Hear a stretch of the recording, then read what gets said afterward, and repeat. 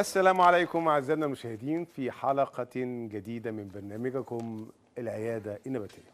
النهارده طبعا آه، السادة المزارعين وإخواننا الفلاحين اللي زارعين فاكهة واشجار اليومين دول دايما يسألوا على إيه هي المعاملات لرفع جودة الثمار وفي ناس تانية بتبقى عايزة التحجيم إحنا إزاي نحجم إزاي ناخد اعلى جودة من الثمار؟ إيه هي المغذيات اللي نحطها في الفترة دي؟ طب إيه هي المعاملات اللي نبتعد عنها؟ طب إيه هي اهم الآفات اللي نقدر نعمل وقاية منها؟ طب إحنا مصابين بآفات معينة طب نكافحها إزاي بدون ما تأثر متبقياتها على جودة الثمار والتصدير وكده؟ كل ده هنتكلم عليه مع بعض بإذن الله وبنرحب بأسئلتكم زي ما متعودين في العيادة. النباتية بجميع أسئلتكم واستفساراتكم على طريق التليفونات اللي هتتذاع اللي هتتحط على الشاشة. وبرضه اللي مش هيلحق يعمل مداخلات معانا في صفحة البرنامج العيادة النباتية أو للدول الغير ناطقة بالعربية the botanical clinic تبعتوا لنا فيها وعلى الواتس طبعا. هيكون معانا ومعاكم الأستاذ الدكتور وليد أبو بطة أستاذ البساتين بمعهد البساتين بمركز البحوث الزراعيه أهلا بحضرتك يا دكتور. أهلا بك يا فندم. أهلا بالساده المشاهدين. دايما مشرفنا. تسلم ودايما. السادة المشاهدين. بينتظروا آه، يستفيدوا من سعادتك. وإحنا تحت أمر السادة المشاهدين. طبعا تحت طبعا. مصر. كل علماء وزارة الزراعة بمركز بحوث زراعيه تحت أمر وخدمة السادة. المشاهدين. إخواننا طبعا هم. هم الأساس. بدونهم ما نشتغلش. دلوقتي يا فندم إحنا اليومين دول بيبقى خلاص البرتقال طلع ابتدى يحجم. ابتدت ناس بتختلط بعض عليها بيختلطوا إزاي يكبروا إزاي يحطوا معاملات. في ناس بتعمل معاملات غلط فبتؤدي لكارثة وهي الوقت زنقة قوي وقصير جدا. فعايزين نعرف من حضرتك إيه هي المعاملات أو ال- ال- أو أو بالأدق المغذيات اللي يجب نتبعها اليومين دول في أشجار الفاكهة عموما وخصوصا البرتقال وبجميع أنواعه اللي ترفع جودة الثمار وتخليه كويس وصالح للتصدير. بسم الله الرحمن الرحيم. أنا بشكر حضرتك على السؤال الجميل ده وحضرتك طبعا أستاذ في ربنا مركز يكرمك البحوث الزراعيه فحضرتك عالم آه، قبل ما ربنا تكون. آه، وكده. إحنا بنتكلم إحنا حاليا إحنا في شهر تسعة. خلاص بالنسبة مثلا لو هنتكلم عن الموالح الأصناف الشتوية اللي هي زي البرتقال أبو سرة البرتقال البلدي السكري إحنا كده خلاص هنخلص التسميد الأزوتي. مفيش تسميد أزوتي. دلوقتي. خلاص، خلاص ما حدش يحط تسميد نخلص ازوتي 15 فبراير النهارده 15 سبتمبر النهارده. خلاص كده هنوقف التسميد الأزوتي. آه، ممكن يفضل مستمر لآخر الشهر في الأصناف المتأخرة زي البرتقال الصيفي زي اليوسفي الميركوت اللي هي الأصناف المتأخرة. ممكن نستمر فيها لحد نص أكتوبر لأن لسه احتياجاتها آه، بتاخد احتياجاتها من ال- من النيتروجين. فدي دي بداية. ما هو حضرتك حضرتك السؤال كان عن التحجيم.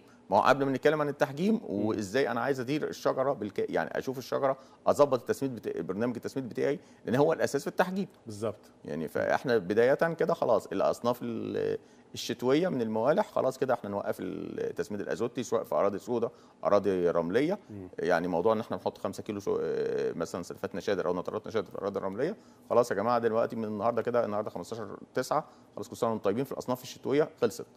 نوقف التسميد الأزوتي. ليه؟ لأن التسميد الأزوتي هيعمل لي مش- حاجتين اتنين. هيزود حجم الحباية حجم الثمرة وهيقلل تلوينها من آه، دلوقتي يعني يقلل تلوين. يقلل تلوين فأنا حضرتك كنت بتسأل يعني عن- بيعمل تحجيم يا فندم أهو. لا التلوين يا فندم. هيخلي آه. اللون بتاع الثمرة م- مخضر. ما هوش البرتقالي الواضح. جميل قوي يعني هيبقى اللون باهت. يعني حضرتك بتتكلم عن التحجيم وعن جودة الثمار بالظبط آه. ما هو التحجيم أنا بعمل تحجيم عشان آخد حجم معين هو المطلوب في التصدير. وبع- وفي نفس الوقت الجودة. بالظبط. فأنا لما أسمي أزوت دلوقتي في الأصناف الشتوية هيبدأ الحجم يزيد. يعني اللي أنا عديت التحجيم. أنا بعمل التحجيم عشان أسيطر على الحجم.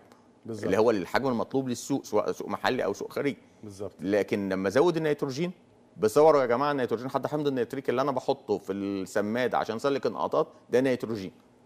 يعني دلوقتي أنا هوقف حمض النيتريك اللي أنا هحطه في السماده في الأصناف الشتوية هو ده توريق يا فندم يعني يعني أنا دايما خدنا في الكلية اننا بننصح بالنيتروجين عشان يدي مجموع خضري زيادة تمام فأنا دلوقتي مش محتاج مجموع خضري أنا محتاج مجموع مجموع ثمري ما هو الثمري ما هو المجموع الثمري بس هي الثمرة آه، النبات الشجرة موجوده في, آه. آه. في الأرض آه. آه. أنت لما بتدي لها ازوت بتاخده بتاخده هتاخده فهتاخده جزء هيروح مجموع خضري كأوراق جديدة في دورة نمو الخريف آه. وجزء ممكن تتاثر به الثمار ان ما خدتوش الثمار كحجم هيأثر على الجودة بتاعتها هيأثر على التلوين. هيقلل لون الثمره لون الثمره يبقى باهت مش اللون البرتقالي المميز للموالح. إحنا الموالح المصرية زي ما حضرتك عارف بتسافر بره وبتشوف المصرية متميزة بلونها. اللون ال ال الواضح للثمار. الثمار المراحل المصرية واضح جدا. فالتسميد الأزوت الزياده. و... ودلوقتي في الاصناف الشتوية هيقلل لي التلوين. يبقى أنا كده بقلل جودة الثمار بتاعتي. فدي بداية. طب جميل قوي كلمة يا دكتور أصل أنا حضرتك يعني أوحيت لي لسؤال معين طب اتفضل. وهنكمل ما تقلقش آه اتفضل. لا أنا مثلا واحد من الناس وفي. كتير قوي وبره برضو نفس الموضوع يفضلوا البرتقال الأخضر. يعني فرنسا مثلا يحبوا البرتقال الخضراء آه، يقول لك ده قليل من السكر. وأنا بحب البرتقاله تكون حادقة. هل في معاملات أو هي دي بتبقى مقصودة ولا بيبقى عيب من المزارع؟ ولا هو منزلها بدري؟ لا أنا ممكن بص يا فندم هي إحنا بن... بنكش... يعني التحجيم ليه الناس دلوقتي كلها بتسأل عن التحجيم؟ مم. لأن هو المطلوب دلوقتي كان زمان الأحجام الكبيرة مطلوب آه. دلوقتي ما عادش الأحجام الكبيرة مطلوبة حتى في الدول العربية ما عادوش بياخدوا الأحجام الكبيرة. مم. فإحنا بن... طالع مصطلح التحجيم إن أنا أتحكم في حجم الثمرة وما تتعداش إيه, مم. إيه الحجم المطلوب. اللي حضرتك بتقول بتحب البرتقال الأخضر. لا في في في في, في أمريكا برتقال ما بيلونش. بيبقى مستوي صنف. يعني لا مش آه. صنف نتيجة الظروف الجوية نتيجة ظروف جويه آه. الظروف الجوية آه. يعني بص البرتقالة تبقى خضراء ممكن في كذا حالة حالة منهم نتيجة عدم انتظام الظروف الجوية لذلك أمريكا بتعمله عصير جميل صح تمام بي- بيصنعوه عصير ما, بي... ما إحنا بينزلش الدولة الوحيدة اللي بتعمله ما الصوص بينزلش. fre... آه. ما بينزلش fresh آه. تمام لا, لا هو لو نزل fresh مش هيبقى مش مقبول يعني الذوق مثلا في فرنسا زي ما حضرتك بتقول له حقيقي. الفرنسيين لهم ذوق يعني مختلف عن بقية الإيه. بقية أوروبا وأمريكا الأمريكان لا عايزين البرتقانه برتقانة لونها برتقاني مم. لكن هيلاقيها خضرا مش هيشتريها طب. وفي مصر هنا يا فندم لما بتنزل خضراء لا ما قليل اللي بيشتري البرتقال الأخضر وفي هنا ناس الناس هنا بتلجأ لحاجة آه. اللي بيقطفهم بدري عشان يكسب سعر بدري بيلونها تلوين صناعي بيبقى البرتقال مصفر كده مش مش واخد اللون ال orange اللون البرتقالي الواضح لا بيلونها إزاي صناعي فندم في بالمعاملات بتتم في الثلاجات و... آه حاجات في الثلاجات إنما آه. مش ممكن يحط لا لها مش حاجة. الشجرة لا لا لا, لا يعني عندك مثلا البرتقال ال- ال- القوطة ساعات بيحطوا لها كبريت عشان تنام لا بسرعة ده البرت... لا ده القو- القوطة لكن آه. البرتقال بيجمعوه بيحطوه في الثلاجات بيعملوه معاملات بي... بيصفر بيصفر شوية. عشان هو بينزلوا السوق بدري علشان ياخد إيه؟ سعر أعلى. جميل. لكن اللي حضرتك بتقوله إن البرتقال بيبقى مخضر أنا لو في طلبية هي تبع السوق. أنا لو أنا لو آه، مصدر أو منتج. وعندي طلبية أنا عايز البرتقال أخضر قبل ما ينجمع بنصدره. وده بتحصل أكتر في الصيفي عندنا. في أوقات بيطلبوا الصيفي البرتقال الصيفي بيطلبوه وهو لسه ملونش آه. مع إن البرتقال الصيفي عصيري أساسا. بس هم بيطلبوه كده. وخصوصا في الفترة بتاعة الكريسماس ونيو يير في أوقات بينطلب برتقال صيفي في شهر واحد. بيبقى لسه ملونش لسه آه. اللون آه، يعني إيه آه، أخضر مصفر. مش هنقول أصفر مخضر لأ وفي أخضر أخضر. وفي أخضر أخضر. فبيبقى مطلوب. آه. هم بيطلبوه في مواسم معينة نتيجة حاجة معينة آه لكن المعتاد في البرتقال آه، الموالح انها بتتصدر بعد إيه؟ أو بتت- بتتباع بعد اكتمال التلوين بتاعها. جميل آه. فإحنا في مصر بنشتغل بإيه؟ إن هي اكتمال التلوين بتاعها ما قليل إن إحنا نصدر حاجة خضراء إلا ال- الليمون. الليمون اللي بنصدره طبعا أخضر ما بنصدروش إيه؟ آه، مكتمل النمو. تمام؟ فهي الحتة دي, دي فدي نقطة الإيه؟ النيتروجين. تاني عنصر هنتكلم فيه برضه يا جماعة الفوسفور. الفوسفور الفوسفور مهم جدا للنبات. أستمر في الفوسفور الأيام دي. موقفوش. هنقول الأراضي الرملية بتديها حمض فوسفوريك. الأراضي الطينية لو عايز زي ما قلنا قبل كده في القاعه مع حضرتك إن إحنا بنحط نجيب حمض فوسفوريك ونحطه في برميل والبرميل بحنفية ونحطه على المية اللي داخلة على الحوض اللي هيروي الحوض يعني لا- معدلاته قد إيه يا دكتور؟ نعم. الفسفور معدلاته قد إيه؟ معدلاته لو أنا في, في الأراضي الرملية إحنا بنحط لتر للفدان في الأسبوع. في السماده ما في السماد آه في السماد. آه. فلو أنا بروي أرض أرض طينية مثلا بروي كل مثلا كل ثلاث أسابيع دلوقتي ال- ال- الوقت كده فأنا ممكن أحط 2 لتر في برميل 100 لتر وأفتح الحنفية فتحة صغيرة تمشي مع مية الإيه؟ مع مية الري اللي داخلة الحوض مش اللي داخلة المزرعة. يعني بتبقى المزرعة عندنا في الأراضي الطينية متقسمة حوض. في في أنايات صغيرة أناية كده معروفة يعني هو اللفظ الشائع الانايه فأنا بحط ال- البرميل ده على إيه؟ على رأس الأناية زي ما بنقول على رأس الحوض بحيث المية اللي داخل الحوض هي يبقى فيها حمض الفوسفوريك لأن حمض الفوسفوريك النبات محتاجه دلوقتي. آه، فوائد ال- ال- حمض الفسفوريك أو الفسفور عموما والكالسيوم إيه فوائدتهم آه، كعلم كده يعني؟ كعلم ده الفوسفور هو أساس مركبات الطاقة ال ATP وال ADP. لا ده لا أنا يمكن سألت سؤال بعيد شوية أو علمي،. يعني بصيغة أخرى في بعض الناس آه. آه، بتزود الفسفور وبتزود الكالسيوم فبتزيد القشرة بتاعة البرتقال. لا هي ال- هل دي نتيجة للفسفور والكالسيوم؟ هو اللي بيزود القشره حضرتك الكالسيوم والبوتاسيوم. آه كالسيوم وبوتاسيوم. كالسيوم وبوتاسيوم. آه ما دي عشان نقول إيه الكالسيوم وبوتاسيوم. والبوتاسيوم بيزودوا القشره فدي معدلاتها إيه؟ عشان القشره بيزودوا؟ صلابة. أنا كنت هجيها بعد ال... بعد الفوسفور أنا كنت أنا كنت عامل الترتيب أنا. بستوحي الأسئلة من آه كلام ربنا يبارك في حضرتك أستاذنا طبعا. ربنا. يكرمك. فهي إيه، إحنا هنحط الفوسفور الأيام دي اهتم بيه. إيه، تمام؟ حطينا الفوسفور المعدلات اللي قلنا عليها okay. ندخل على البوتاسيوم زي ما حضرتك عايز. البوتاسيوم حاجة مهمة جدا دلوقتي. في المرحلة اللي إحنا فيها دي اللي ممكن زرع الموالح كلها شيء شتوية أو أو, متأخرة لازم أحط البوتاسيوم أهتم بإضافة البوتاسيوم يا جماعة. هنقول البوتاسيوم غالي رش بوتاسيوم رش. مش هيديني مش هيبقى بنفس الكفاءة بتاعت البوتاسيوم الأرض بس يبقى بوتاسيوم كويس أرش قدر الشجرة رشتين ثلاثة علشان البوتاسيوم. هيعمل صلابة للثمار زي ما حضرتك قلت. رش بالرشاش رش ورقي، مش, آه، رش مش, بالموتور. آه مش في السمادة يعني. لا ما هو ما هو هو السماد هيقول لي غالي. غالي. غالي. فيعني ه- حط نص كمية في السمادة وادي الشجرة رش رشة أو رشتين. إيه ليه؟ هيدي صلابة للثمار هيعمل حاجة تانية هيزود تلوين الثمار. يخلي الثمرة تتلون كويسه يبقى عمل لي البوتاسيوم فايد... فايدتين اتنين مباشره مش هنتكلم في الفسيولوجي. فايدتين مباشرتين للمزارع. إن هو خلي الثمرة خلى الثمرة بتاعتك قوية وخلى اللون بتاعك كويس. بوتاسيوم في منه صور كتيرة في منه نترات بوتاسيوم بت- أنا بتكلم عن صور الرش مش صور الإضافة الأرضية. صور الرش في منه بوتاسيوم مض- مضاف عليه هيومات في هيومات بوتاسيوم في ناس إحنا إحنا في قد بنرش بهيومات البوتاسيوم عشان نستفيد بالبوتاسيوم. مش عشان الهيومات. لأن الهيومات بت- بتضاف أرض وما بتضافش ما بتضافش رش. بس إحنا بنستخدمه في أوقات علشان أنا عايز بوتاسيوم نسبه البوتاسيوم تبقى عالية في هيومات البوتاسيوم فبستخدمه رش ص- صورة من صور الرش. الهيومات بتفيد في مسك ال- العنصر وتوصيله م- أكتر؟ مخلبية فاحنا بنقول إحنا بنضيفها في أرض عشان كده. آه زيادة امتصاص آه، العنصر. بتزود بتخلي بالعناصر فبتحافظ عليها وما تفقدش في مية الري مع مي... مع صرف مية الري. آه. لكن أنا بقول لحضرتك يعني حاجة من الحاجات اللي بتتم الناس بتعملها في اوقات بيجيبوا هيومات البوتاسيوم بيرشوه بس أنا مش برش عشان الهيومات أنا برش عشان البوتاسيوم. عشان بوتاسيوم آه. وفي طبعا في نترات بوتاسيوم موجودة وفي كذا صورة موجود. بس يا جماعة في حاجة اسمها كلوريد بوتاسيوم ابعدوا عنه. ما يترشش على الورقه كلوريد بوتاسيوم. كلوريد بوتاسيوم. موجود في السوق للأسف.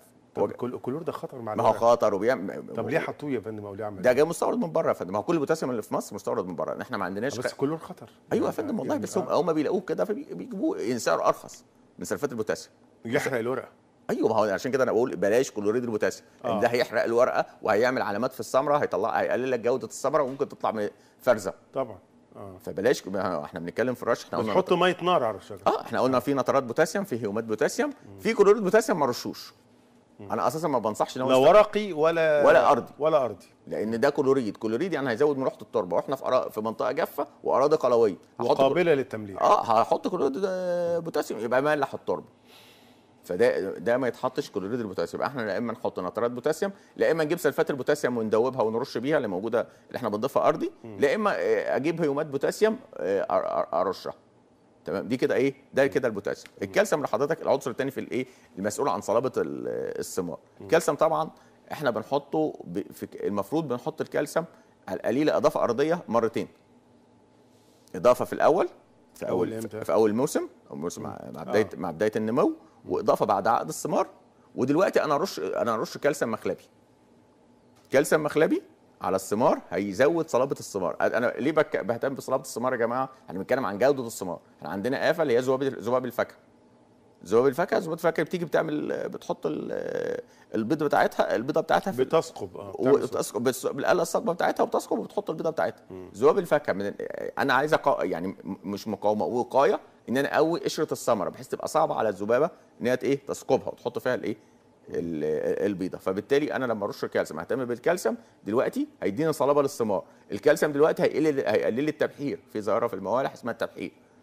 هنتكلم عن التبحير ده بس آه، هل لو إحنا زودنا الكالسيوم بمعدلات عالية يزيد السكر؟ لا ما ازودش الكالسيوم بمعدلات عالية لأنه هيعمل لي تضاد مع بقية العناصر. هايل جدا يعني ممكن نصاب بامتصاص على عناصر ثانية آه بيصاب جميل. يعني طب زيادة ال- السمك اللي إحنا بنشوفه ده هل زيادة في تسميد معين؟ لا زيادة السمك اللي حضرتك بتشوفه في بعض الثمار إحنا بنجيبها نلاقي ثمره تخينة قوي. ده بيبقى اداره سيئة من المزرعة. يعني برنامج التسميد بتاعها آه، حاجة كتير مش. مظبوط في عفوا يعني في عك. آه في عكه في عك في في التسميد. أو ممكن يكون ده مثلا برتقال بسره على أصل فولكا والشجرة عدت العشر سنين. مم. فبدأت الصفات الثمريه تختلف نتيجة تأثير الأصل على الطعم. ما جايز ال- المزارع يفكر مثلا تفكير كده يقول لك والله لما أحط دوت وبيديني سمك هيجي ذبابة الفاكهة ما تعملش. بس ده يعني دي ممكن تبقى وردة بس هو تناسى مثلا إنه لو اتصاب بالمن أو بعض الحشرات الثاقبة المصة اللي قدرت تعمل ده هتسهل على الفاكهه بقى آه. هي الكالسيوم مش هيمنع إحنا قلنا ده وقاية. وقاية. وقاية مش علاج. لكن عشان يقول إن إن الكالسيوم علاج للذبابه لا ما حدش يقول كده خالص.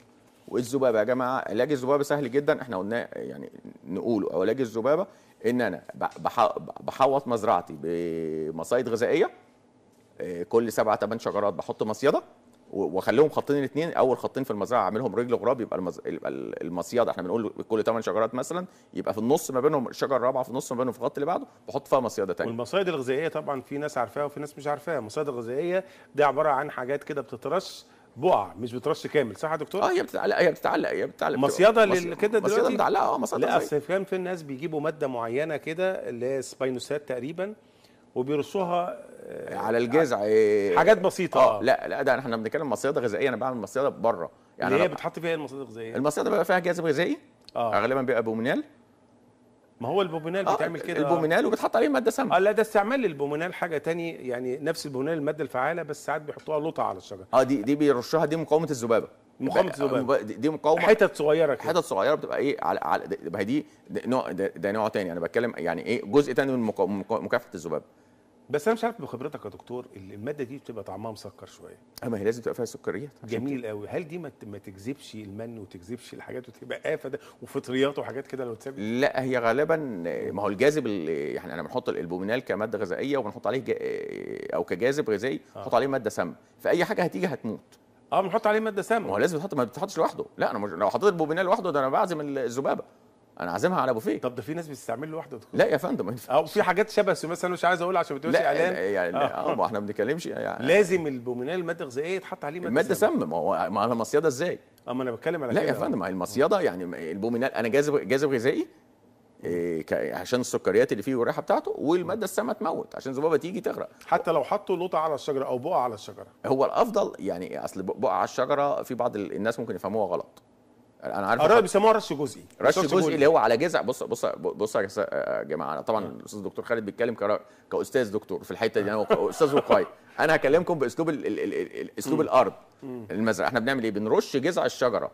اللي هو اللي رش الجزء حضرتك آه. بيبقى جو- جزء. جذع الشجرة بنرش صف وبنسيب صف نرش صف ونسيب صف على جذع الشجرة مش على الأوراق هو ده اللي الأستاذ الدكتور خالد بيقصده آه. لأن في كلمة لطع على الشجرة ممكن واحد يقوم ماسك رشش على الثمار لكن رشات هي جزئي بتبقى جاذب بس مش أكتر بتبقى جاذب على جذع الشجره على الخشب وعايز أكد على حاجة إن. الجاذب اللي أنا حتى برشه جزئي ده أو لوطه على الشجرة زي ما حضرتك بتقول بحط عليه مادة سامة. لازم لازم مفيش جاذب آه. يطرش لوحده بيبقى عليه مادة سامة يعني ال- ال- الجاذب الغذائي بيبقى عليه مادة سامة علشان إيه، وأنا برش جذع على الجذع برش شجرة وأسيب شجرة بحيث يبقى في أدي للذبابة فرصة إن هي تطير لأن لو رشيت الشجر كله ممكن تضحك عليا وتقوم داخله جوه الشجرة. أنا بديها فرصة الشجرة اللي ما ترشتش دي إن دي شجرة ممكن تصيبها فتنجذب للج... للج... تروح للشجرة دي ما تلاقيش الريح تروح الشجرة الثانية تلاقي الريحة اللي إيه؟ بتبقى ريحة البومينال أو الجاذب ده ال fragrance بتاعه أقوى من ريحة الثمرة من فبتنجذب ليه. فبتنجذب لها. نتكلم بقى عن التبحير اللي حضرتك قلت عليه. التبحير. التبحير اولا ظاهرة فسيولوجيه مش مرضية يا جماعة. محدش يقول إن التبحير مرض. التبحير ظاهره فسيولوجية. إيه هو التبحير أصلا؟ التبحير إن هو ال- القشرة بنلاقي فيها منطقة لينة وبتنزل يعني مثلا ملي 2 ملي عن بقية آه، مستوى بقية القشرة. وبتبقى لينة وسهلة تتك على حضرتك كده تلاقيها لينة تحتك مش زي بقية الثمرة. طب بيبقى فيها عفن من جوه؟ لا مش عارفه ولا حاجة. هو مرض فسيولوجي. مرض فسيولوجي. دي نتيجة إيه؟ نقص الكالسيوم. ال- ال- ال- الجدر وهي بتتصلب جدر خلايا القشرة وهي بتتصلب ما كانش فيه كالسيوم كفاية في الحتة دي. في الحتة دي. وده وبرده مش- نقص الكالسيوم سبب لأن هي برده هي عشان ظاهرة فسيولوجيه ما فيش سبب واحد هو الايه هو المؤثر. برده من الحاجات التانية اللي هو عدم التوازن ما بين العناصر. يعني أنا بدي نيتروجين كتير وما بديش بوتاسيوم مثلا أو بدي آه. بدي كالسيوم وبدي بوتاسيوم مع بعض في نفس الوقت هيعمل لي تع- تعارض. أو بدي نترات نشادر وبدي حمض نتريك في نفس الوقت. إحنا كنا عاملين هنا برضو العناصر اللي بتظبط بعضها. آه. يعني قلنا زيادة عنصر ده بيظبط العناصر ديت في حلقة من الحلقات. يعني طب هل هي كل الأصناف يا فندم بيحدث فيها التبحير ديت ولا بيجي في صنف بتكتر فيه عن صنف تاني؟ هو في بيحصل في البرتقال أكتر في أصناف البرتقال أكتر. آه. تمام؟ إيه، ليه؟ لأن أصناف البرتقال القشرة ملتصقة. لكن لو بنلاحظ في اليوسفي القشرة بتبقى إيه؟ القشرة يعني سايبة أو سهلة التقشير بنقول اللي هو الايزابيل الأصناف اللي هي سهلة التقشير بتبقى القشرة بعيدة عن الإيه؟ عن الحباية شوية فبيبقى في جزء مغذي للقشرة أو اوعيه مغذيه للقشره وأغشية مغذيه لإيه؟ للثمر آه. فهي إحنا بي- بيبقى باين قوي وحتى لو زجاج في اليوسفي ما بتبقاش واضحة قوي لأن ال- القشرة في اليوسفي عندنا إحنا بنشيلها وبنرميها طبيعي بسهولة. لكن آه، في البرت... في ال- في ثمار البرتقال بتبقى واضحة. معانا أول مداخلة اتفضل. تامر من البحيرة. أيوه يا أستاذ تامر. جابر. جابر؟ أهلا يا أستاذ جابر أنا آسف. ازيك يا باشمهندس أهلا بحضرتك سؤال يا أستاذ جابر. ممكن ال ال ال ال الكلام اللي أنتوا بتقولوه الادويه دي هل هل هو ينضاف للجوافيه بقى لا ممكن تعلي صوتك ممكن تعلي صوتك وتسمعنا من السماعة. يعني من السماعة وتقفل التلفزيون من فضلك أو توطيه. الادويه الأدوية اللي هي هتنحط ديت اللي أنتوا بتقولوا للبرتقال آه. ممكن تنضاف للجوافيه ولا ولا للبرتقال بس؟ آه بالظبط. هو بيقول لك إن البومينال اللي هو المغذيات ديت ممكن نضيفها للجوافة كمان؟ أيوه ممكن. آه طبعا ما هي الذبابة ليها عوائل كتير. هي اسمها ذباب الفاكهة وذبابه الموالح هي آه، اسمها ذباب. الفاكهة. بتيجي آه. للجوافة برضه. آه بتيجي للجوافة برضه. ممكن نضيفها البومينال والجذب الغذائي. بس طبعا زي ما قال الدكتور معلومة أنا استفدت منها إن البومينال ما تحطوش لوحده. لازم تضيف لازم- عليه مادة مبيد سامة. مبيد يعني. مبيد، آه. مبيد سام عشان يت- مبيد فوسفوري مش كده دكتور؟ مبيد فوسفوري آه, آه. آه. تعرف مش عايزين نقول أسماء عشان إيه ما لا لا إحنا قلنا مبيد فوسفوري مبيد. فوسفوري آه. وبس يعني يبقى مادة سامة إحنا عادة بنقول لما بنطلع في برنامج أو أو مقال لا، ما بنقولش الأسامي. بنقول مادة سامة. مادة سامة. مادة سامة. مبيد فوسفوري أي مبيد من الموجودين هيقتلها لأن هي داخلة تاكل فهتاكل سم وكده. معانا هاني من كفر الشيخ. أستاذ هاني؟ أيوه السلام عليكم. عليكم السلام يا فندم. دكتور خالد. أهلا بحضرتك يا فندم. عندي آه، أشجار ليمون وعايز في ذبابه دايما بيضة كده عندك أشجار. إيه يا فندم؟ واحدة واحدة. أشجار إيه؟ أشجار ليمون. إيه؟ أشجار ليمون. ليمون. أشجار ليمون أيوه يا فندم. آه. فبلاقي عليها ذبابه كده والورقة حمراء فعايز أرشها أعمل إيه؟ يعني أنت بتلاقي عليها ذبابة. اولا آه. الذباب ده أنت عندك 200 نوع من الذباب. يعني عندك الذبابه البيضاء منها أربع خمس أنواع ده المعروفين. وذبابة الفاكهة في نوع واحد وفي أنواع غير ضارة مثلا. واخد بال آه. حضرتك؟ أو مش موجودة عندنا بمعنى أدق. فهي آه. إيه نوع الذبابة إيه ومظهر الإصابة شكله إيه؟ ال- ال- ال- الورقه الورقة حمراء يا دكتور. الورقة حمراء. س- سمراء سمراء عليها اللي عليها اللي عليها آه. يبقى أنت عندك عفن. آه لا يبقى يبقى عفن نتيجه اصابه بالمن آه. وعمل ندوة العفن آه، الفطريات نمت فبقت سمراء صح كده. أنت عندك عفن اسمه العفن الأسود. ده نتيجة إن عندك حشرات ثاقبة مصة. دي ممكن بأي مبيد فسفوري ترشه. إذا كانت حش... يعني ممكن ترش مرة الصبح ومرة بالليل لأن الحشرات اللي هي الليلية بتترش آه. بالليل وفي حشرات بتبقى الصبح. وبعدين تدي لليمون الليمون صغير. تدي له رشة مية. تغسل العفن ده لأن العفن ده منه. إيه؟ الليمون بسمع منه. الليمون ماله؟ الليمون بجيب بجمع منه ليمون بجمع منه.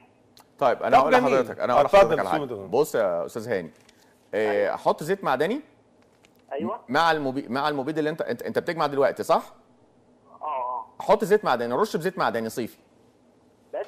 زيت معدني صيفي. آه، هيغسل لك الشجرة ومش هيبقى سم على على الثمار لأن أنت بتجمع مش هنقول مبيد. رش آه، حط 9 9 كيلو آه، زيت على الموتور ال 600 يعني لتر ونص على ال 100 آه لتر ونص على 100 100 لتر مية. 100 لتر مية. وبس يكون الموتور في ال- القلاب بتاعه شغال لأن الزيت عشان الزيت ما يركنش منك تحت. آه تمام؟ يعني يكون في تقليب يعني. لا لازم تقلبه كويس.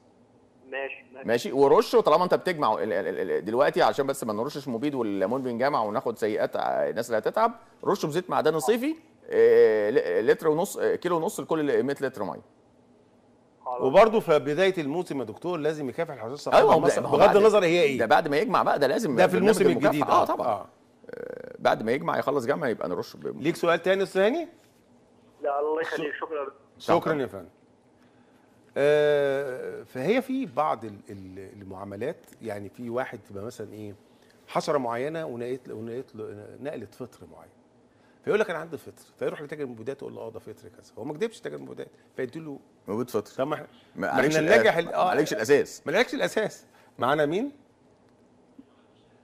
أستاذ محمد من الشرقية. أستاذ محمد. السلام عليكم. عليكم السلام السلام يا عليكم. فندم. وأنا عايز أسأل سؤال والنبي ملح جدا. تحت أمرك. أنا من العاشر من رمضان وعندنا مساحات خضراء لا حصر لها. كويس. لا حصر لها. آه.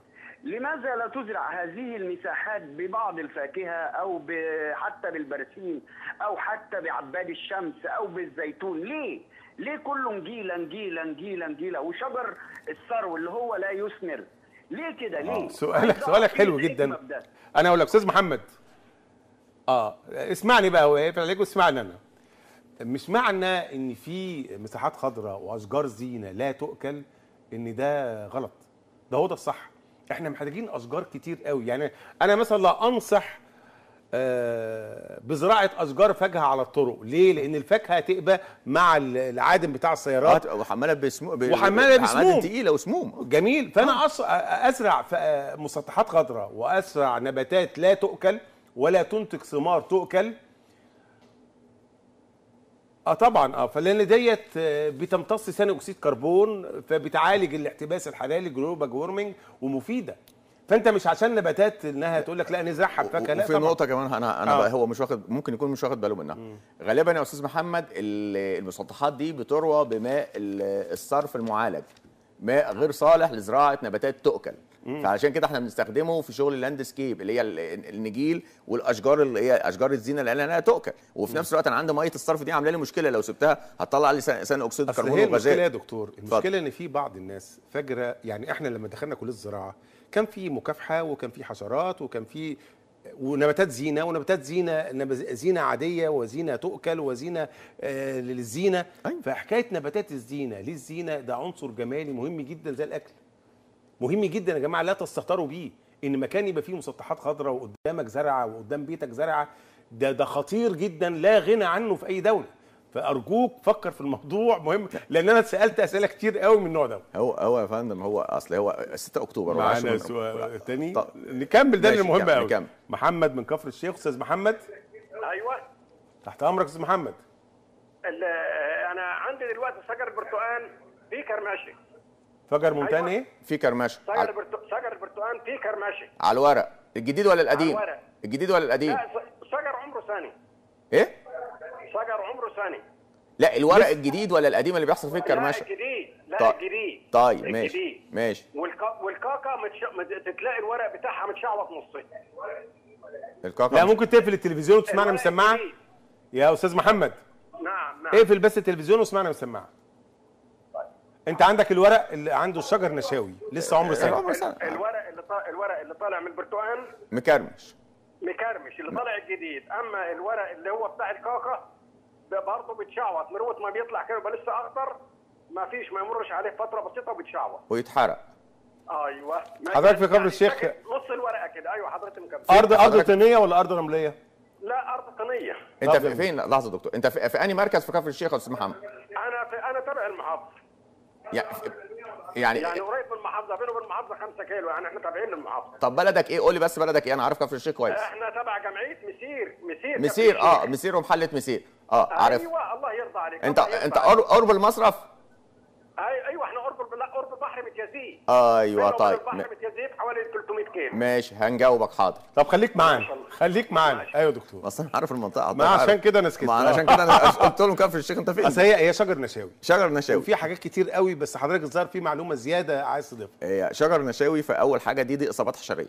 شجر النشاوي يا جماعة ده شجر من عمر سنة لثلاث سنين. ده شجر آه. آه. آه عندك إصابات حشرية كتير وأنت ما بترشش كويس وسايبها. عشان كده بدأت ال- ال- ال- الإصابات الحشرية آه، بت... الورقة بتكرمش وممكن حشرات وصناعات أنفاق. وصناعات أنفاق دي بالظبط. أكيد. ده, آه، ده أكيد. آه، آه، لأن. شجر نشاوي. لأنه بيقول لي في الورق ال- الجديد. آه، طبعا. الورق الجديد ده صناعات الانفاق. مع, صناعات مع. مع زيادة الحرارة ارتفاع درجة الحرارة فوق ال 22 تعرف حضرتك أستاذ بعد ثلاث سنين حتى لو في صناعات أنفاق مش مهم. مش مهم لكن دلوقتي طالما أنت لسه سنة. فدي دي دي, دي حتة الشجر مكرمش انت بس بص على على الورق بتاعك وممكن تبقى صوره وابعته للدكتور خالد على الصفحة بتاعت على البرنامج العيادة النباتية. وأنا هكتب لك إيه إيه هتعمل إيه. طب إيه حكاية الصرف يا دكتور؟ كنت عايز تقول حاجة اللي هم عندهم مصرف قريب.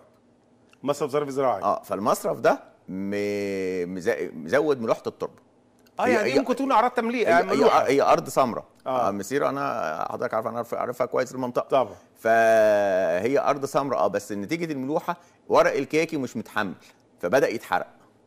الورقة بتطلع نتيجة الملوحة بتتحرق هيلاقي يعني هي بتشعط اللي هي الأعراض اللي حضرتك أعراض الملوحة اللي حضرتك عارفها حواف الأوراق بتتحرق. بيتحرق. بسرعة لأن ورق جديد مش متحمل هتلاقيه صغير برضه لسه نشاوي مع البرتقال فمش متحمل ملوحة التربه ودي مشكلة في في في الحته في المنطقة في دي المنطقة بالذات. دي آه ما أنا- ما أنا عشان كده يبقى الأرض بتاعته بتستملح. بتستملح. يعني بتستملح. فدي دور لها علاج إما موتور أو يشوفوا علاج الأرض شكلها إيه لا إما يستخدم مضادات ملوحة لا إما تستخدم أحماض أنا أقول لك على حاجة أنا طبعا أنت أنت أرض غمر فمش هتستعمل أحماض هقول لك الطريقة اللي إحنا قلناها من شوية بتاعت حمض الفوسفوريك يا دكتور آه. هتعمل برميل 100 لتر آه، بحنفية وت- وت- وتركب له على شاسيه كده بعجلتين زي بتوع مكنة المية أنا بتكلم بلغه يعني آه طبعاً. لغه المزرعه. التطبيق اللي أنا بعمله في المزارع آه. شاسيه صغير حديد كده بيشيل البرميل بعجلتين والبرميل ده 100 لتر بلاستيك كده وتعمله حنفية كويسة والبرميل ده تحط مثلا فيه كل مع المية بتاعتك كل مره تحط لتر حمض فسفوريك مرة وحمض ومرة حمض نيتريك لتر ومرة حمض كبريتيك لتر. كل مية بتسقيها تحط معاها إيه؟ ينوع. عشان ده إيه، وتوقفه على راس الإيه؟ راس الحوض اللي أنت بتروي أو يعني مش على القناية اللي جاية بقى اللي جاية بقى بترعى لأ. راس الحوض أنت إحنا قلنا بعجل علشان يمشي معاك. هتزق البرميل على راس الحوض تفتح الحنفية يعني إيه؟ ربع فتحه مش نص فتحه ربع فتحة كده تنزل إيه؟ ينزل ال- الحمض معاها كل ما كل مرة هتغير حمض يبقى حمض فسفوريك مرة وحمض نيتريك مرة وحمض كبريتيك مرة. أنت كده هتع... تبدا تعالج الملوحة بتاعتك إيه اللي موجودة في التربة بتاعتك. ولو ما نفعش يبقى لازم تركب آه، موتور يعني. موتور آه ده في ناس كانت واحد بيقول لي بيقول لي ده أنا عندنا المنطقة بيروا بالصرف الزراعي أيوه آه ما أنا فاهم. ما أنا- ما أنا عشان كده سألته أنت فين؟ لأن أنا عارف كفر الشيخ الله يفتح عليك يا دكتور. معانا. مصطفى من البحيرة؟ أستاذ مصطفى؟ أستاذ مصطفى معانا ولا مشي؟ أيوه معاك حضرتك. تحت أمرك يا أستاذ مصطفى. السلام عليكم. عليكم السلام ورحمة الله وبركاته. ممكن اكلم الباشمهندس؟ اتفضل. الدكتور وليد مع حضرتك. باشمهندس مش يا دكتور. اتفضل. لو سمحت أنا عندي شوية جوافي فيهم الجوافية ذاتها فيها عفونه من تحت. ما إيه؟ فيها عفونه من تحت. الجوافية الشجر الجوافية من تحت. الشجرة؟ لا الجوافية الثمرة. الجوافية نفسها؟ فيها فيها آه. عفونه من تحت؟ أي. من من الحتة اللي هي ماسكة في في ال- في العنق بتاعها؟ لا من تحت. من الطرف الثاني اللي هو الزهري. ده ده ده, فطر دخل لك والجوافة بتاعي دي يا مصطفى كان لازم ترش بمبيض فطر أيام العقد. ماشي؟ يا- آه يعني ده فطر دلوقتي خلاص مش هتعمل حاجة. اللي هترشه دلوقتي مش هتعمل حاجة. الحبايه. الحباية انضربت. ها؟ باللغة بتاعتك يعني مش هكلمك بقى ما لغه دي ما ده السؤال. يعني شكرا. أستاذ. في سؤال تاني يا أستاذ مصطفى؟ بالنسبة لحضرتك ما بيبانش الكلام ده إلا غير دلوقتي لا بعد ما تطين مش وهي طيب ما بص يا. مصطفى لحظة يا دكتور. أنا بص يا مصطفى إحنا بنعمل إيه؟ أيام العقد كده وهي مزهرة وجايه جاية تقعد بنرش بمبيض فطري. وهي بتقعد ليه؟ لما برش بمبيض فطري الأي... في الأيام دي بمنع الفطر إن هو يدخل بمنع الإصابة. ما أنا عارف إن الإصابة بتحصل أيام العقد وبتظهر دلوقتي. أنت مش بتشوفها لو الحباية جاية تستوي صح؟ أيوه. أنا ما أنا عارف أنا بقول لك دي, دي بس الإصابة حصلت إمتى؟ حصلت أيام التزهير والعقد. في أيام العقد كده إن شاء الله الموسم اللي جاي إن شاء الله أيام العقد بتاعك والشجرة بتقعد تجيب مبيض فطري كويس محترم من من بتاع المبيضات اللي أنت بتتعامل معاه. قول أنا عايز مبيض فطري لل لل لل لل شكرا يا. مصطفى. تمام؟ وتر- وترشه أيام العقد والتزهير هتقل الإصابة عندك إن شاء الله. طيب معانا سالم من البحيرة؟ أيوه يا فندم. أيوه يا أستاذ سالم. أيوه يا فندم السلام عليكم. عليكم السلام ورحمة الله. وبركاته. لو سمحت والله يا فندم بس أنا عايز محلات المبيدات اللي عندنا في ابو المطامير بالذات. آه، ما فيهاش رقابة يا فندم ما فيش رقابة عليهم وعايز نعرف ليه المبيد ما بنكتبش عليه التسعيرة. لا دي دي ده موضوع بص يا أستاذ سالم ده موضوع اسمه غش المبيدات. ولما تلاقي تاجر من هذا النظور روح بلغ عليه في الوزارة. شكرا أستاذ سالم. بحث شكرا لا يبلغ في عندنا قسم اسمه قسم غش المبيدات والمبيدات يتبلغ عليه أو مباحث تمويل ما عايز تمويل يعني ده, ده, ده. في بقى يعني حضرتك ال- ال- الأستاذ مصطفى سأل سؤال جميل قوي وحضرتك جاوبت عليه إجابة جميلة اللي هي الفطر اللي ساعة العقد. بيدخل ساعة العقد. جميل قوي إحنا عندنا برضو في الموالح التريبس. آه. التريبس لو ما اتعالجش اللي هي في مرحلة العقد الأولاني بي- بيظهر له في الآخر بي- حلقات. آه، حلقات على عنق التريبس بيظهر على عنق يعني عنق الحباية وده تلاقي عليها. وده انتهت. لازم يرش آه، في, في, بداية أيام العقد. أي أيام العقد على طول. أيام العقد ما هي فترة العقد والتسيير دي آه. بنقول عليها فترة حساسة لازم المزارع يبقى عينه في وسط راسه زي ما بنقول كده. أنا أمشي في أرض كل يوم أمشيها شجرة شجرة. ليه؟ لأن إصابة واحدة عندي لما تحصل بالتريبس هتعدي لي المزرعة كلها، اكاروس هتعدي لي برضه المزرعة كلها، ما الاكاروس بيجي في نفس الفترة. تمام مع دخول الحر وكده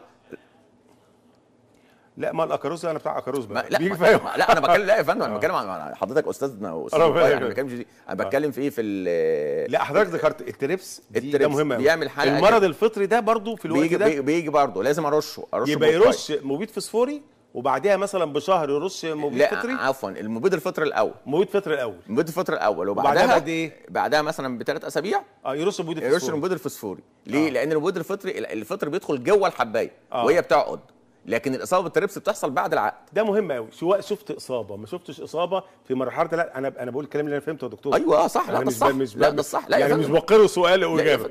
آه اللي أنا فهمته إن في بداية العقد في إصابة ما فيش إصابة نرش لازم فترة فترة. لازم وبعدها. بثلاث أسابيع أرش- مبيد أكاروسي, أكاروسي عشان عشان التربس عشان التربس جميل قوي محمد من الغربية؟ أستاذ محمد لسه معانا؟ أيوه يا فندم مع حضرتك. آه، تحت أمرك أستاذ محمد سؤالك. بقول لحضرتك العنب عندنا القطف في ناس لا معلش الموبايل فيه حاجة مش طبيعية. بقول لحضرتك. العنب؟ آه العنب آه إن شاء الله. ماله بقى؟ آه، القطف عندنا بيبقى فيه ندوة سمراء. وندوة عسلية. بس الندوه السمراء الندوة السمراء بنعالجها إنما الندوة العسلية لما نيجي نقط- نقطف العنب. أيوه. و انت دلوقتي انت قصدك على العنقود نفسه مش العنقود؟ أيوة، القطف اللي هو العنقود حضرتك فاهم أنا فاهم أنا طب فاهم خلاص يبقى أنا ما فاهم. فيش مشكلة مش آه مشكلة طيب. كمل يا آه. محمد إيه إيه الندوة الندوه العسلية لما بتقطف إيه اللي بيحصل؟ أيوه يا فندم آه إيه اللي... والجدر ذات نفسه الجدر ذات نفسه بيبقى فيه بق دقيق كده وطالع على الشجرة من تحت تمام يعني أنت عندك بقى عس... بقى دقيق وعندك ندوة عسلية وعندك ندوة سمراء صح؟ ندوة سمراء آه انت أنت منين يا الندوه محمد؟ السمراء بتتعالج منين؟ من الغربيه لا من عارف أنا من... مركز من تخم مركز الصمت. تخم أزيد آه. طيب ما أنا بس بس أصل أنت برضه آه. ده حضرتك لافف يعني أنا آه. بلف فأنا بعرف المنطقة عشان أعرف إن بالظبط. العنب في الغربية متركز في السنطه يعني أكبر مركز في الغربية فيه عنب في السنطه فأنا عارف أنا بس أسأل عشان أشوف البلد وأنا بلف أنا بشوف الدنيا فيها إيه. بالظبط. حاضر يا محمد. هنجاوب. عايزين عايزين نشوف اي علاج لأن ال- ال- العنب ده يعني بيجي آخر السنة وبيبوظ منه وبيترمى كله طب. اسمع اسمع الإجابة يا أستاذ. محمد اسمع الإجابة. اسمع الإجابة عشان ما شكرا. نطولش آه. عليك. آه. بص طب. ناخد اللي بعده وبعد خد كده. اللي بعده. ماشي. بس عايز خلاص. تكتب ماشي. آه. أنا لا أنا ماشي. آه أنا طب مشاوي من البحيرة؟ أيوه السلام عليكم. عليكم السلام. السلام ورحمة الله وبركاته. إزيك إزيك يا دكتور؟ أهلا بيك يا فندم. أنا عندي القواقع يا دكتور أنا ما غلبت فيها. القواقع ياما جو القواقع هتشتغل ياما. وبعدين المبيدات ما عادش بتجيب معاها رش خالص. إيه المشكلة اللي عندك؟ ما أنا مش عارف. قواقع قواقع. الق- القواقع؟ قواقع على الشجر ماشي سهل, قواقع. على الشجر ياما خالص طيب. ومبهدلنا يا دكتور خالص. أنت زرع إيه يا حاج؟ أنا زرع برتقال بسره موالع برتقال بسرعة؟ عندك عندك قواقع؟ أيوه عندي قواقع ما بتنقطعش خالص وزي ما تقول بنجيب الرش بيزيد على الرش. مثلا- رش يا بترش إيه؟ برش الزبون ما أقول لك مرة يقول لها هات بلاش مرة يقول هات كربنتين مرة يقول هات إيه لا، أنت بترش غلط. مضروبة. آه، هو أساسا عنده مشكلة أساسا. لا هو عنده قواقع. أيوه ما هي القواقع دي ليه؟ حضرتك. القواقع دي بتحط لها طعوم اولا. طعوم. وليه؟ ليه- ليه بتنتشر في المزرعة؟ بص آه. يا حاج آه. أنت مزرعتك مش ماشي. مش نظيفة فيها حشائش كتير وبتروي وبتشغل المكنة وتسيبها. الرطوبة عندك عالية قوي. ماشي؟ آه، آه، بص ماشي. اسمعني بس اسمعني اسمعني. أيوة، عشان ماشي، أيوة. لازم تنظف الأرض بتاعتك من الحشائش اللي موجودة وال- والحشائش اللي على ال- على المراوي ومن بينك وبين الجار لازم تنضف. لأن دي دي اللي بتنام فيها القواقع تمام؟ دي أول حاجة. تاني حاجة هتلقط القواقع دي بالإيد. لازم تجيب عمال ينقطوها بالايد ينقطوها بالإيد من على الشجر. تالت حاجة هنعمل طعم بقى لحضرتك بإيه؟ بنتكلم عليه. لأن انت بيرش ده ما رش مش بيرش ما. بيترشش ما بيجيش بالرش لازم. تجيب تجيب عمالة عمال آه، مع حضرتك تجمعوها بالوحده لا أنت تقفل التلفزيون معلش عشان مش سامعينك أكلمنا من السماعه عرفت يا أستاذ شوقي الحل إيه؟ يا دكتور صلى على النبي هنقول ساعتك صلى الله عليه وسلم.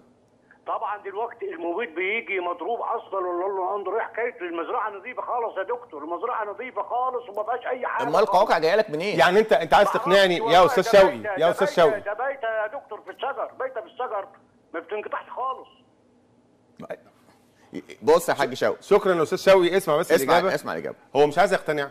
إن في أسباب جابت القواقع. اولا القوقع ما بيطيرش. يعني ما بيجيش كده طيور. ما هوش عدوى أو مش عدوى بيضه هتحصل بت- آه أو إنه بيضة زي الحشرات كده ممكن تطير من مكان لمكان. ليه سبب؟ سببه إيه؟ زي ما قال لك الدكتور تفضل قال لك حشائش ومية. هي اللي ثبته. موجود عندك أعداد كبيرة يبقى هنشيلها. مفيش حاجة اسمها رش مبيد عين للقواقع. في حاجة اسمها طعوم. وبعدين إحنا كنا عملنا حلقة هنا كبيرة كان معانا الاستاذ الدكتورة فاطمة كان اتكلمنا عن القواقع. يا ريت ترجع لها على اليوتيوب. وتشوف القواقع دي علاجها إيه والطعم شكله إيه.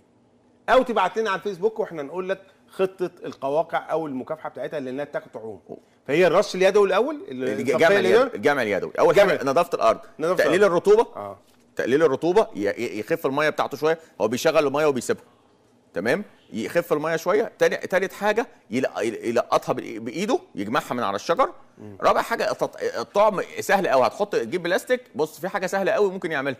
تجيب كبريتات آه، حديدوز رخيصة. آه، يفرش بلاستيكة حوالين الشجر ويحط الكبريتات دي عليها على البلاستيك عشان ما تاخدش المية. ودي تحطها إمتى بعد الظهر؟ لأن القواقع بتطلع إمتى؟ ال- ال- التاجر مش هيعرف كبريت حديدوس عارفينها يا دكتور. عارفينها؟ عارفينها. ما أنا أصلا بنزل اصل قابلت قابلت مشكلة زي دي في زفته يعني تاجر المبيدات يعرف عارفها عارفها. طب جميل ملاش اسم تجاري يعني؟ لا أيوه يعني يعرفها هو بدل. عارفها يقول بتقول بتاع الطعم بتاع القواقع. جميل. بيفرش البلاستيكة ويقوم حاطط عليها. بس تحطها إمتى؟ ما تحطهاليش من الصبح. القوقع هيطلع إمتى؟ مع غروب الشمس. يعني تحطها إيه؟ آخر النهار. وتخليها في حتة ما تجيش عليها المية. حتى لما تسقي ما تجيش عليها المية. القوقع يمشي عليها يموت. هو محمد من الغربية العنب. إحنا مش ناسيينك يا محمد. مش هنقفل الحلقة لما نجاوب على سؤالك. في عندنا صلاح من الشرقية. صلاح معانا؟ صلاح موجود؟ أيوه السلام أيوه أستاذ. صلاح سؤالك. ممكن أكلم الدكتور؟ معاك. طيب آه، لو سمحت يا دكتور عايزين بس موضوع التفاحم اللي في شجر الجوافة. التفاح آه يعني إحنا عانينا من موضوع التفاحم ده ورشينا مرة اللي على الورق؟ ورشينا أكتر من مرة يا دكتور. على الورق ولا على الحباية؟ دلوقتي على الاثنين آه، يعني أيوة. كان قبل كده كنا بنرش على الورق قبل قبل الحباية. دلوقتي دلوقتي ضرب لك الاثنين آه ودل... آه دلوقتي بقى الاصابه بقت يعني ال- ال- الحب بيقع, كده على الأرض من الإصابة. فمش مستفيدين بأي حاجة من ال... من ال... من الثمر خالص. انت رشيته قبل كده بإيه يا محمد؟ آه رشينا آه، مبيد حشري بنجيبه من ال مبيد حشر آه. امم طيب هو ده ماشي. تفاحم يا دكتور؟ ده أنا- مش تفاحم آه ده العفن. ده عفن هبابي. عفن هبابي آه. عفن عشان هبابي. بس نبقى متفقين التفاحم ده لا, لا, لا التفاحم ده حاجة ثانية بس. آه. هي المصطلح هم بيقولوا تفاحم. مع حضرتك بقى الوقت ماشي. لغاية آخر الحلقة نجاوب على محمد بتاع الغربية بتاع العنب ونجاوب على صلاح شرقية موضوع العفن ده اللي هو التفاحم حاضر يا فندم. ماشي ما وقتك معاك معانا. العنب. العنب هو كده عنده مشكلة في المكافحة. هو ما بيكافحش كويس. آه. تمام؟ فبيجي له إصابات آه، كتيرة. هو بيقا- بي- بي- بيقاوم في مرحلة ومرحلة ثانية بيهتم إن هو يكبر العنقود. فمش مكافح الندوة. اللي هي اللي هي بتبقى من تربس و- و- وكده. هو بيقعد يرش البياض بيهتم هم هم اهتم بيرش فطري. بيرش فطر بيهتم بالبياض. لأن هو العنب بيجي له الاثنين بياض زغبي وبياض دقيقي. فبيهتم بالبياض ويهتم إن هو يكبر الحباية والعنقود والمعاملات بتاعه التكبير وبيسيب الإصابات الحشرية. الإصابات الحشرية بتدخل لأن طبعا العنق- العنقود بيبقى كومباكتد طبعا. فالإصابة بتدخل جوه.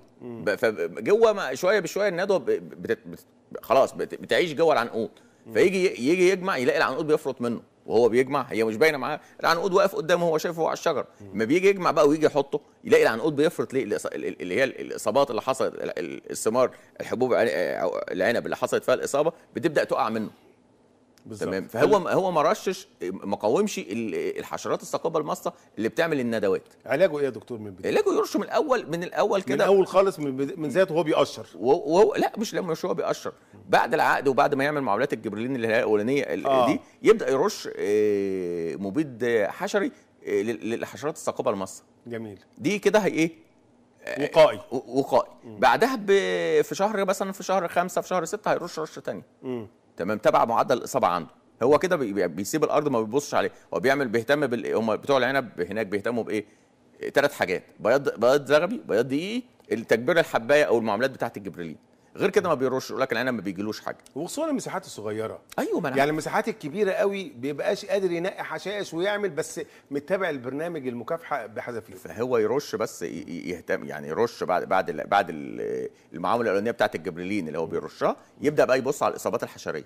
في إصابات حشرية يبقى رشها مبيد حشري عشان حشرات الثاقبه المصري لازم يلاقي حسابات حشرية مش؟ لازم يلاقي مش ممكن لازم. إحنا قلنا. هيرشها رشة وقائية. وقائية. في شهر ستة لو لقى إصابة يرشها رشة تانية. آه. تمام؟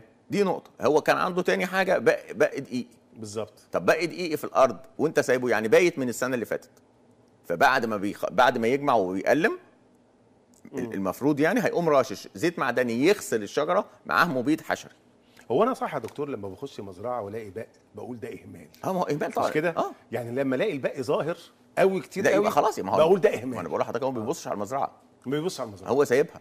فلكن أنا الباقي دي دلوقتي هترشه هات زيت معدن صيفي ومبيد ورش رشه دلوقتي. على على الجذع بس مش هنقدر نرش طبعا لأن العن- العناقيد موجودة. بالنسبة لصلاح بتاع الشرقية اللي طب هو الف... هقول له كملتش؟ هقول له طب بس في دي. إيه، أيام التقليم بعد ما تقلم بقى تجيب الزيت الزيت الصيفي ده والمبيد تغسل به الشجرة وخاصة المناطق اللي كان فيها الإيه؟ ال- البق تغسلها لأن البق بيبقى سايب ال- البيض بتاع بتاعه وبيبقى في قلب الايه في قلب ال- القلف هو بتاع بيستنى لغاية لما يلاقي القش بي- الأبيض. ده فول جرون ده ده- تحته بيض ولفات بيض. عشان كده. فهو دلوقتي هيجيب الزيت الصيفي هيقومه بزيت معدني آه. مع مبيد حشري شديد. بالظبط. عشان يقضي عليها لأن الحشرة اللي بيدوبها حضرتك أستاذ بقى وقاي اللي بيدوبها الزيت المعدني بالظبط. بيدوب الشمع بتاعها علشان يوصل هو لايه بيخنقها. بيخنقها وال... يعني بتوع الحصاد القشريه آه، المبيدات بتاعتهم كلها اللي بياخدوها زيت. آه فعشان كده. لكن أيام بعد التقليم حضر- حضرتك هت... هتغسل الشجر. بص هتغسله يعني إيه؟ أنا عايزك تص... يبقى ال- ال- المحلول بتاع الرش بتاعك بيقع على الأرض كده منه.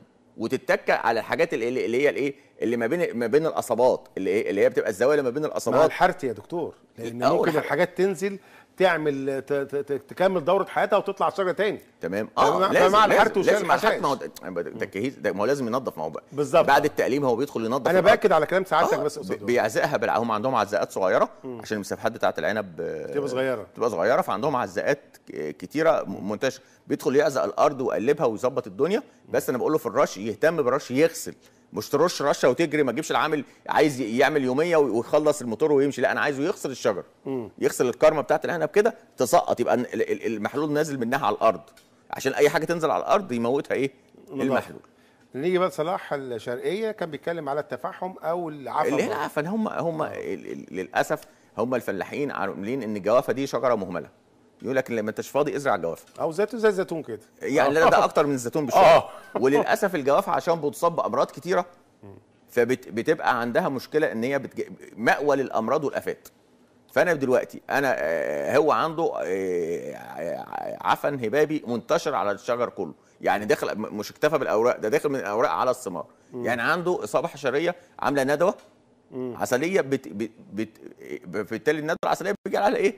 بس مشكلة الفطر المشكلة ديت أنا متخيل إنه عنده شجر عملاق يا دكتور ماشي ما هو كبير فما بيقدرش يكافحها ما هو بص غير. إن الشجر اللي اللي ما هو الشجره عملاقة ما هو أنا هعمل إيه بالشجره العملاقه هجمعها بإيه بسلم عشان كده بنقول إن الناس يا جماعة. قلمهم خلي الشجره في حجم مناسب افتح قلب الشجره عشان الشمس تدخل بالظبط. لأن. لو الشمس دخلت هتنضف آه. الشمس ما تدخلش لو لو الشجر زحمة في بعضه إحنا مش هنعرف نشتغل آه. مش هنعرف نرش. لا هم سايب الشجرة فعلا طويلة زي المانجا أصحاب المانجا. فبقول له ما أقدرش أعمل حاجة المانجا المانجا المفروض تبقى متناول الإيد يعني لو أنت مقلبها هرش. أنا همسك الموتور وال- بس مش. هتوصل مش. هيوصل لفوق. بالظبط آه. أنا بشكر حضرتك جدا يا ربنا دكتور يبارك في حضرتك. آه على الحاجات ال- الجميلة دي كلها. تحت. إنما آه في سؤال أخير. اتفضل يا فندم. آه أنا تحت السؤال ده يعني أنا شخصيا بقابله كتير قوي يعني عندك في أمراض بتبقى نادرا كده زي مرض السفرجلي. ما بنشوفوش. واخد بال حضرتك؟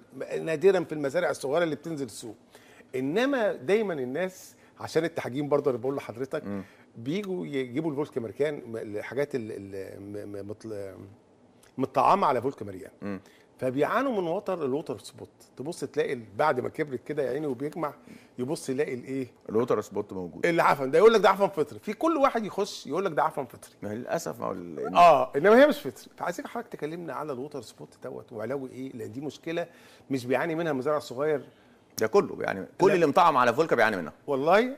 آه لا دي مشكلة كبيرة قوي في المزارع اللي هي 2000 و3000 مزارع أيوة، كبيرة قوي فكلمنا في كده في عجالة إن إحنا وقتنا أشرف على الإنتاج. حاضر يا فندم. هي إيه الأساس إيه؟ الفولكا أصل قوي. أصل منشط. فبيمتص مية عناصر غذائية كتير. بيديها لمين؟ للطعم. آه. فالطعم ده ممكن ما يتحملش ال- الثمرة ما تتحملش كمية الإيه؟ المية والغذاء اللي جاية لها. فيبدأ تضعف مع اختلال برنامج التسميد والتضاد ما بين العناصر. ما بيسمدش كالسيوم كويس ما بيسمدش بوتاسيوم كويس. فبالتالي الثمرة بيحصل فيها إيه؟ إن القشرة بتبقى آه، رقيقة. فعرضه لاصابه اي إصابة تجيلها سهل إن هي تصاب بيها. مش مية يا دكتور يعني أنا أنا نصحتهم وأنا بره مش بتاع فاكهة يعني. نصحتهم لا بدل ما خطين مية خليها خط واحد. ده هو عشان يجمع. هل ده صح ولا غلط؟ أنا أنا اعتقدت انه بسبب المية. لا هي مش مية هي أساسها العلاقة ما بين الأصل والطعم ما بين الفولكا وما بين الحاجة اللي متطعمة عليها. واللي عامل بقى المؤثر أكتر فيها دي علاقة مش هنقدر نغيرها خلاص الشجر آه، متطعم على خلاص الفولكا. الشجر، آه. يبقى أنا اعمل إيه؟ أعمل توازن في التسميد بتاعي. أهتم بالتسميد ال- البوتاسي أهتم بتسميد الب- الكالسيوم.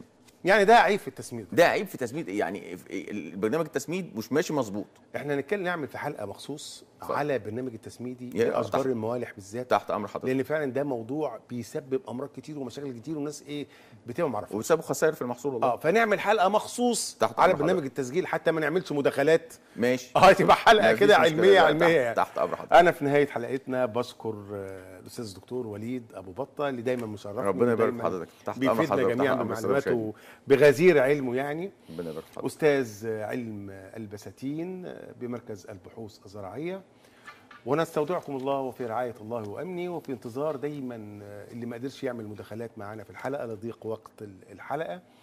برنامج على صفحتنا البرنامج في صفحتين على الفيسبوك العيادة النباتية أو The Botanical Clinic أو على الواتس ابعتوا لنا كل أسئلتكم وهتوصل لكم الإجابة. بنشكر حضراتكم جدا ونلقاكم مجددا مجددا الأسبوع القادم بإذن الله في برنامج العيادة النباتية تقديم دكتور خالد عياد والسلام عليكم ورحمة الله وبركاته.